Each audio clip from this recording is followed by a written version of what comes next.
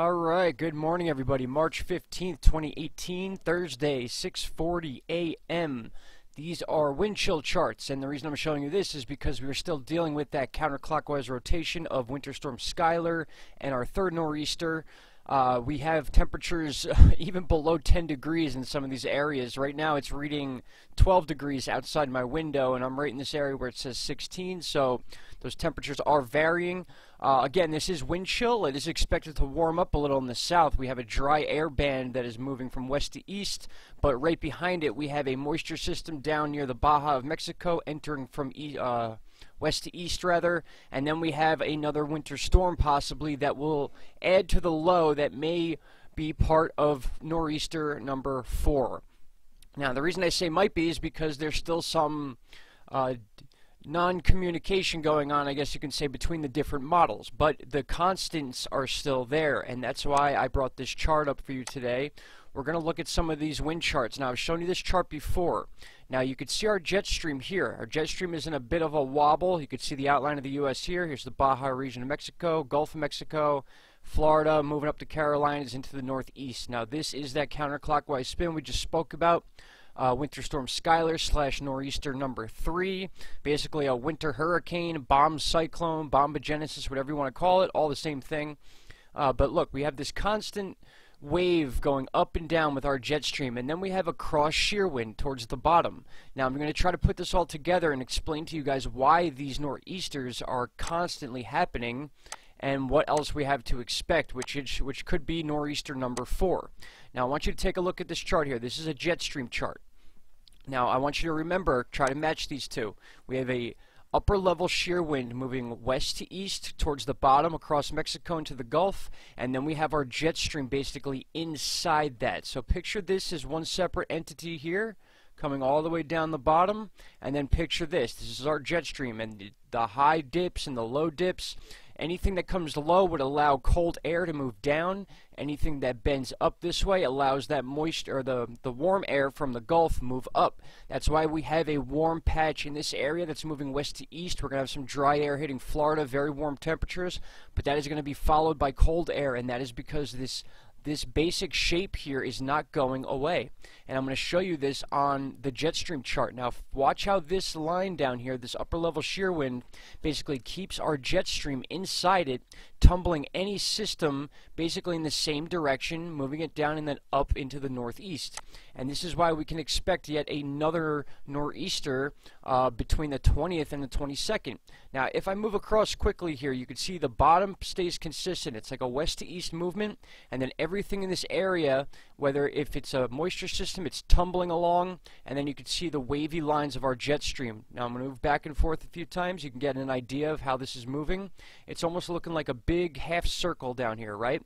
And then everything else in between is getting all smushed together and moved around. But it is a constant flow of air that is causing these systems to move across the U.S. and then up into the Northeast. Now I want you to watch something here. Here was Winter Storm Skylar and the third nor'easter. Now as I move forward, what I want you to pay attention to is this low here. This starts up by uh, Washington and Oregon. Okay, there it is right there, and I want you to follow it as I move across. It's getting tumbled within our jet stream and the upper level shear winds, and then it says by day 10, 8, 9, and 10, which is the 20, 21st, and 22nd, you see yet a fourth nor'easter moving right up the northeast. There it is right there, the low pressure uh, just like we saw with day one, this is the low pressure here, the nor'easter that just passed through, and then we move forward. You can see this system here gets brought down and then up. And that is because nothing is changing with our jet stream. Again, we'll bring it back to this chart. Our jet stream is constantly staying in this wobble thing, and then we got this west to east shear wind that is keeping it all within this pocket area here. And that's why we have all these nor'easter situations going on. Now I want you to look at tropical tidbits here. This is the GFS model. I'm going to back it up to current time. You can see the remnants of Skylar and the third nor'easter right here, very defined because we already know what happened. They actually add to the data after the fact to make sure it was all correct. Um, certainly a significant nor'easter. We had gusts of 80 miles an hour in Nantucket, but as we move forward, you could see very common patterns stay the same, and that is why they are talking about this fourth nor'easter.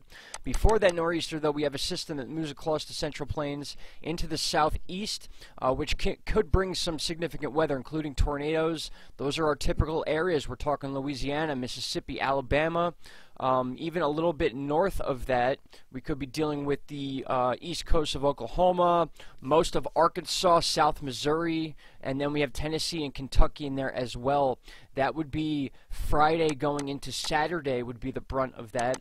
And then right after that's over, that low system that we just saw moving up from Washington and Oregon swoops down across the Rockies. It gets a very south dip into Texas. And then we see that thing moving right across the U.S. It begins to spin. Again, it's because we have this same exact shape going on that brings all these systems, whether they make it downwards or they make it across here, they get picked up by this shear wind here and caught up in the upper level shear wind, both of which meeting right over Florida, and it brings it right up into the east coast. So again, this is current time today, but when this shape stays the same, this system that is beginning up by Washington, Oregon, it's moving down as another moisture sister's moving uh, system rather, sorry, is moving this way. They meet together, they get caught up in this pinch this pinch zone right here between Texas and the Gulf of Mexico, and then whoop, brought right up to the northeast, and that would be nor'easter number four, and even possibility of number five after it as we get close to Easter Sunday, April Fool's Day, which is obviously April 1st. So we could have a nor'easter on April Fool's Day, which is Easter Sunday, everybody. So this is not over yet. Uh, whether this is going to be a winter storm or a wet nor'easter, uh, regardless, we're still dealing with storm surge with these same areas that have been getting pounded for over two weeks now. And then always before these nor'easters, we have a massive moisture system that moves through the central plains. A lot of times it's north of Texas and then Louisiana, Mississippi, Alabama. We have Georgia, the Carolinas, and then moving up into the northeast. That's where our guesses begin with the snow lines, depending on what comes down from Canada. Now, again, when the jet stream dips down like this over the U.S., it allows that cold air from Canada to move down. When we have these up swoops like this, it allows the Caribbean air to move up into the states, which is the warm air. So right now it's cold in Northern California. That's why I showed you these or I showed you the temperature charts before, it's 40 degrees right now in California with the wind chill. So that dip is right here, allowing the cold air down, and then it swoops up this way. That's why it's going to be a little warmer today in the central part of the U.S. That's going to move west to east, followed by a moisture front. Now here is that moisture moving in from this area here, and here is the winter storm possibly, even the low system that's going to move down here. It's going to get caught in this area right here in that pinch zone, and then brought right up to the northeast as a nor'easter. Now I'll back this up and we'll check out what's going on. So we have the remnants once again of Winter Storm Skylar and the third nor'easter there. And then as we move forward in time, this only gives us a couple hours. We can see that warm, dry air moving across Louisiana, parts of Mississippi, Alabama, and Florida. And then even up into Arkansas. Arkansas is going to have some warmer temperatures, but then that moisture is behind it right here. And we can see that begins to flow in over Texas. And it's going to start dipping down into Louisiana. And that's where that tornado threat might be uh, over the weekend. So we need to keep an eye on that. I'll be over um, near uh, West Chester, PA this weekend by my girlfriend's house. We will talk about this all weekend long, including the low pressure system that will be the number four nor'easter. Once these two meet here, they're going to get caught up right in this area. That's where we saw this system right here they begin to meet right here, and then as we move forward, you see it begins to move up into a nor'easter situation. They don't have all the data here quite yet because the European model and the GFS model are not so much in agreement yet about exactly where this low pressure is going to be. Remember, we talk about this. The farther out this way the low pressure is, the more that the situation with the nor'easter is pulled in from this direction. The closer that low is, the more that this specific low itself is what causes the issues on the coast.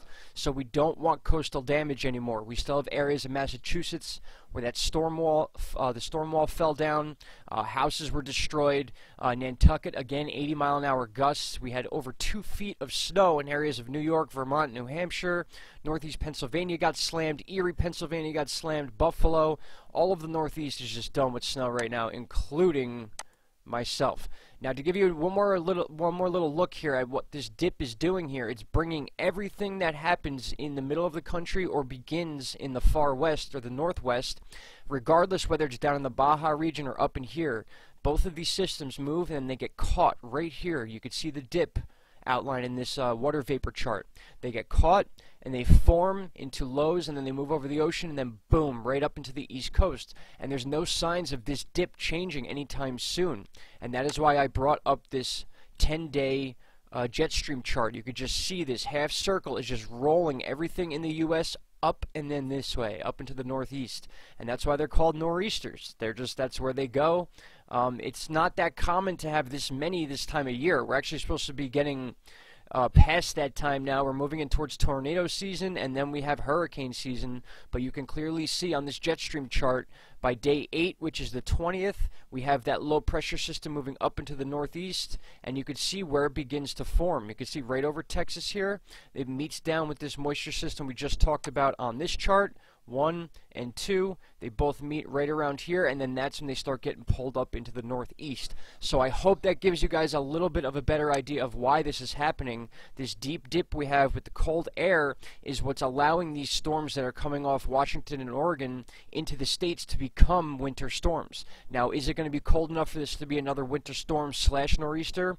It's hard to tell. It looks like it's very possible, especially for the same areas that just got slammed, like Maine, New Hampshire, Vermont, and the areas of New York, and then coastal areas will be de dealing with that um, storm surge once again if this thing is close to the water. If it's not, we could be dealing with some bigger waves, maybe not as intense as the past three, but certainly a nor'easter. So once again, guys, I hope you have a good morning. I hope I explained that um, enough to where you get a better idea of why this is happening rather than when it's coming, so you can look at these charts and figure it out yourself. All right, guys, have a great morning. Talk to you later this afternoon. Bye-bye.